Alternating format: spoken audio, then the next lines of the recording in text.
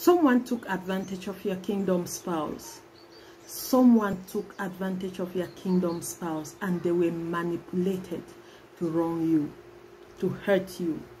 Shalom, the Lord bless you. Welcome to Purpose and Marital Bliss with Pastor Honorine. I have a word for someone.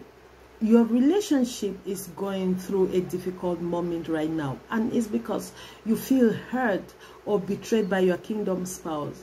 But the person that I'm seeing, actually, your spouse was manipulated.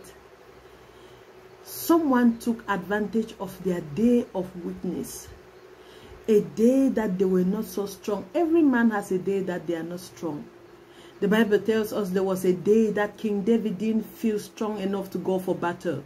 That was the day that the devil strategically positioned Bathsheba.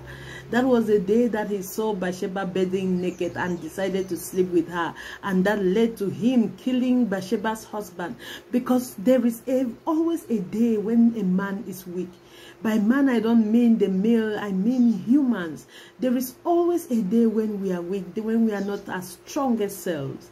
And that's the day that the devil takes advantage. And then he takes, he brings you somewhere. That's the day that you just decided to take and to, to, to drink and you ended up drunk and found yourself in where you were not supposed to be. That's the day you just decided to do something crazy and ended up in a mess. The enemy took advantage of your kingdom spouse and they ended up in a mess. They ended up betraying you. They ended up in this position that left you so hurt.